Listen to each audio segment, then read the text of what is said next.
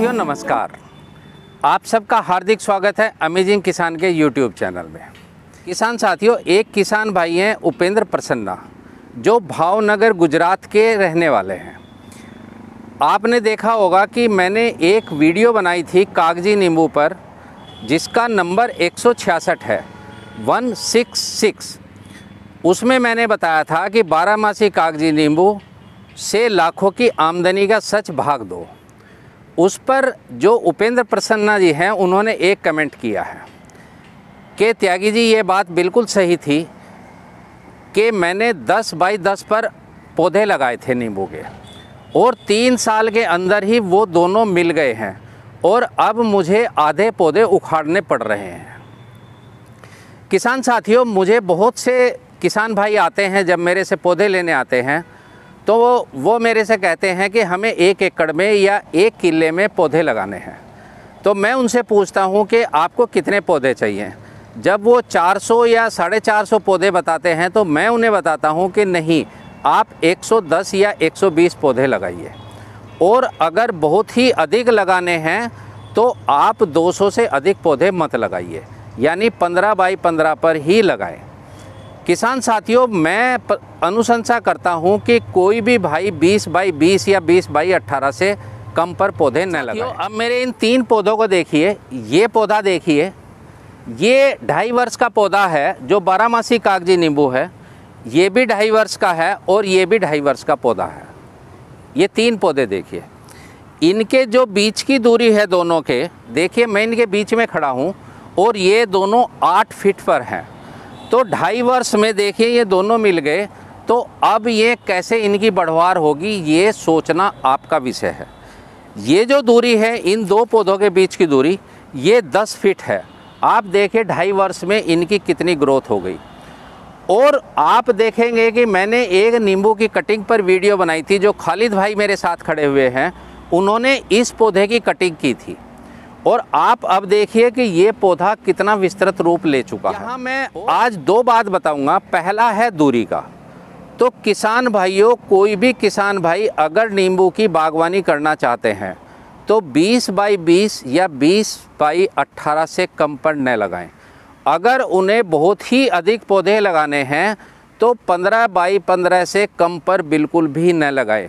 लेकिन अगर 20 बाई 20 पर लगाएँगे तो अच्छा होगा और पाँच साल में उनके पौधे लगभग मिलने लगेंगे।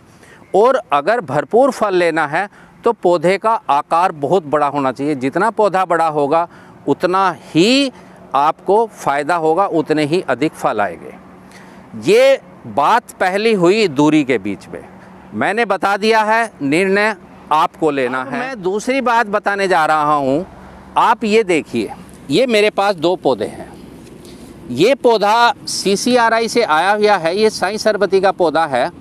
इसको मैंने दूसरी थैली में लगाया है। आप ये देखिए, इसमें मैंने इसे कहीं भेजना था। कुछ भाई मुझसे कह रहे हैं कि त्यागी जी, आप हमारे पास कुरियर से भेजिए और हम कुरियर से पौधे ले लेंगे।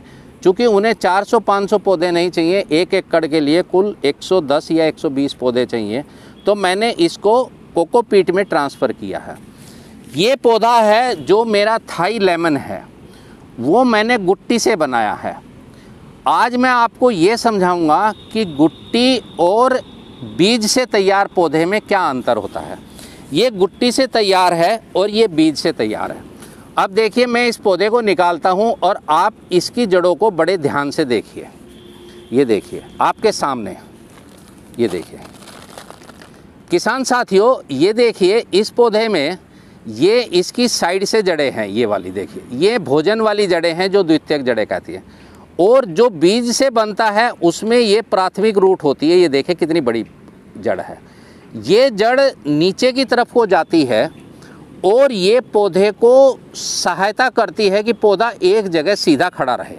ये देखिए, ये इसको सहायता में करती है। ये देखिए, एक ये जड़ है और एक ये दूसरी जड़ है। ये दो दो जड़ें ध्यान से देख लीजिए।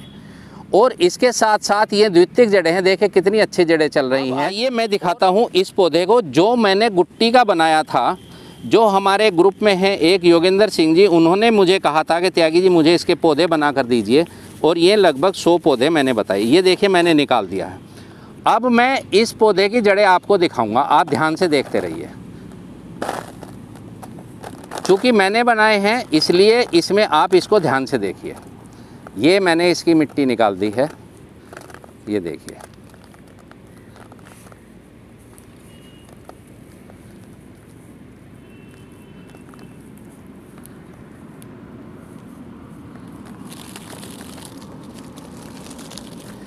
किसान साथियों, इसमें देखिए, आपके केवल आपको ये द्वितीयक जड़ें मिलेंगी, जो भोजन वाली जड़ें हैं, यही मिलेंगी, और इनमें से ही कुछ जड़ें इसे सहायता करेंगी रोकने में। लेकिन इनमें कोई भी मोटी जड़ नहीं है, ये देखिए। यहाँ से इसकी ये हमने गुट्टी काटी थी ये वाली, और इससे ऊपर की तरफ़ सारी जड़ें हैं। आप इसे ध्यान से देखिए, मैं उल्टा कर देता हूँ इसको। ये देखिए, इसमें कोई भी इस प्रकार की जड़ नहीं है, जैसी जड़ इसमें है ये वाली, आप देख लीजिए, इसमें कोई भी जड़ नहीं है। तो इसकी जो जड़ें हैं, वो सिर्फ़ आपके पौधे के समानांतर ही फैलेंगी, ये इस तरह से जाएँगी। कुछ जड़ें थोड़ी मोटी हो जाएँगी, जैसे ये वाली हैं और बाकी जड़ें नीचे की तरफ़ कोई भी प्राथमिक जड़ नहीं है, ये देखिए। इसीलिए गुट्टी के पौधे उन पौधों की बनानी चाहिए गुट्टी, जो पौधे बहुत अच्छी लंबी उम्र न हो जिनकी। इस पौधे की उम्र और इस पौधे की उम्र में लगभग दुगना अंतर होगा। ये पौधा 30 वर्ष तक रहेगा। और बहुत मज़बूत खड़ा रहेगा। ये देखिए, ये जड़ें जो हैं इसकी, और ये द्वितीयक जड़ें हैं। लेकिन इसमें जड़ें देखिए काफ़ी हैं, लेकिन ये सारी साइड में रहेंगी, और आप अपना कोई भी गुट्टी का पौधा उखाड़ कर देखिए तो उसमें इस प्रकार इनका जाला बना हुआ होगा, और ये कभी भी ज़मीन में बहुत अच्छी तरह नहीं रुक पाएगा। तो किसान साथियों, जो आज मैंने आपको दिखाया है, ये देखिए फिर एक बार बता देता हूँ ये इसकी प्राथमिक जड़ है यहाँ से देखिए अच्छी तरह से।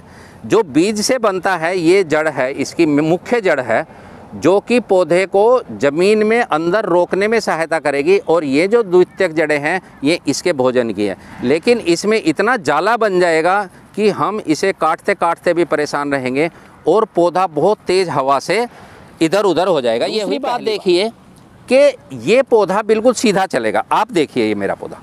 ये पौधा मैंने सितंबर में लगाया था। ये एन आर सेवन का पौधा है जो मैंने सी सी आर आई से मंगाए हैं और आप देखिए इसका तना यहाँ से लेकर यहाँ तक मैंने ये इसके छोटे, जब कटिंग की थी तो इसके ये छोटे छोटे जो इसकी निकलती हैं टहनियाँ, वो हटा दी और लगभग एक फिट तक मैंने साफ़ कर दिया। और देखिए कितना अच्छा पौधा चल रहा है, ऊपर की तरफ़ चलेगा, ये बढ़ेगा सीधा। लेकिन आप इस पौधे को मेरे ध्यान से देखिए कि ये नीचे से ही, आप देखिए इसको कि नीचे से ही कितनी शाखाएँ फूट गई हैं इसमें। और इसे अगर मैं ऊपर ले जाऊँगा तो इसे सीधा करने में मुझे बहुत ही कठिनाई होगी और मुझे बार बार इसकी कटिंग करनी पड़ेगी। और जब हम बार बार अधिक कटिंग करते हैं तो इसमें गोमोसिस आता है, इसमें कैंकर का रोग आता है, इसमें ट्रेसिया का रोग आता है। जबकि जो सीसीआरआई के पौधे हैं, उनमें ये तीनों रोग लगभग नहीं के बराबर होते हैं। आप इस भी पौधे को देख लीजिए। आइए मैं ये भी दिखाता हूँ।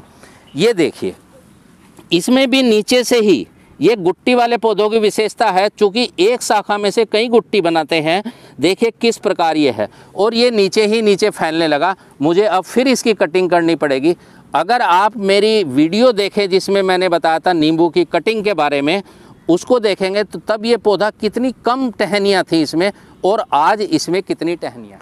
किसान साथियों ये मैंने दो बातें एक बार फिर से आप लोगों को समझाने की कोशिश की है कि नींबू के पौधे कभी भी 10 बाई 10, 10 बाई 8, 8 बाई 5 या सघन विधि से न लगाएँ।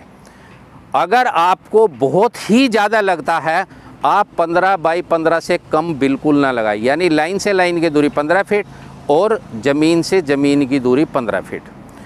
जबकि मैं अनुशंसा करता हूँ कि आप 20 बाई 18 यानी लाइन से लाइन की दूरी 20 फीट और पौधे से पौधे की दूरी 18 फीट। किसान साथियों, हमें आपको पौधे देने हैं। कि आपके पौधे अच्छे चले, आपको अच्छी आमदनी हो, हमें अपने पौधे अधिक बेचने पर नहीं ध्यान देना चाहिए, जो कि अधिकतर लोग करते हैं और किसान उनके झांसे में आ जाते हैं। आइए मैं आपको कुछ पौधे वे भी दिखाऊँगा जिनमें के मैंने पाँच पाँच फीट पर लगाए थे और मैंने बीच में से दो दो पौधे हटा दिए। आज उनकी क्या स्थिति है जो ढाई वर्ष के पौधे हैं? आइए देखते हैं। किसान साथियों, ये दोनों पौधे भी जो बारहमासी हैं, जो गुट्टी वाले हैं, वे पौधे हैं। और ये देखिए, आप इसके तने से देखिए, इस तने से, इस तने की दूरी। जब मैंने लगाए थे, इनके बीच में दो पौधे और थे यहाँ पर। यहाँ पर दो पौधे और थे। जो मैंने हटा दिए इस समय इनकी दूरी पंद्रह फीट है। आप देख लीजिए, और सिर्फ़ ये ये मैंने जो हाथ फैला रखा है, अभी ढाई वर्ष के पौधों में केवल इतनी दूरी बची है। जबकि अभी दो साल में और तीन साल में ये बिल्कुल मिल जाएँगे, और पंद्रह फीट पर भी इनकी क्या हालत होती है, आप सोच सकते हैं। तो किसान साथियों, आज मैंने आपको बताने की कोशिश करी कि दूरी क्या है और उस पर जो किसान भाइयों की फीडबैक आई है, उन्होंने अपना अनुभव साझा किया है। वो बताया है, आप ऐसी गलती करके अपना समय, धन की बर्बादी न करें। ऐसा ना हो कि अधिक आमदनी के चक्कर में आपको बहुत सारा नुकसान हो जाए। इसी के साथ मैं विदा लेता हूँ। धन्यवाद, नमस्कार, जय हिंद, जय भारत, वंदे मातरम।